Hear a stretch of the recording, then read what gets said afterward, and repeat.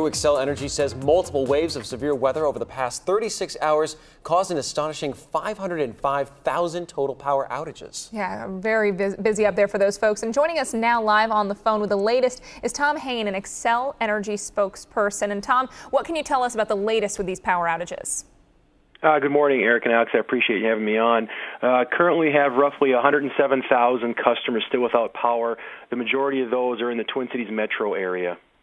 And uh, it's supposed to be a very challenging environment for you here. I'm sure folks are very anxious to get the electricity on, but the storms keep coming through. And right now, this morning, here we go again.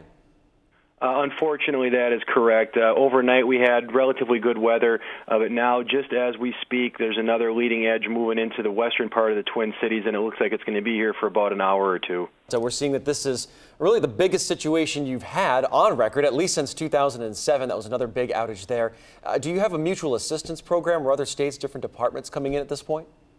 Oh, without question. We deployed that uh, mutual aid request uh, immediately when we saw the scope of the damage, and we've got uh, crews uh, coming in from Ohio, Iowa, uh, Nebraska, and Missouri, and most of those folks will be on the ground with us uh, by probably this afternoon, giving us a total of about a thousand linemen on the ground restoring power.